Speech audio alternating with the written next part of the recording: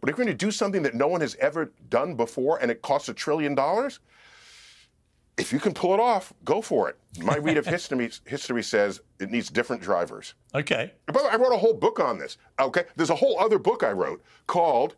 Well, the, the, I got to tell you, the original title of the book was "Failure to Launch: The Dreams and Delusions of Space Enthusiasts." and I handed that to the publisher. We can't have the word failure in the title, and so it has a different, a softer, toothless title, which was "Space Chronicles: Facing the Ultimate Frontier," and that's my entire analysis of why we ever did anything in space.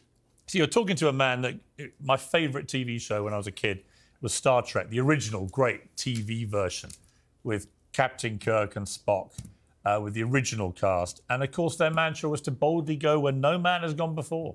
And I want us to keep doing that. I want to just segue from that.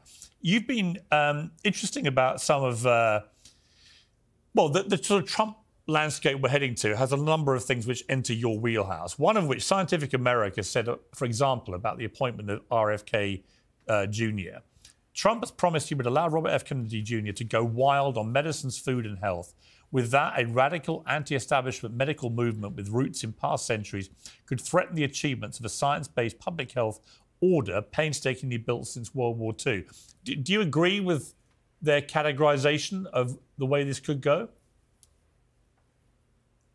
Yeah, I don't. I don't have a a crystal ball of how actual politics unfolds.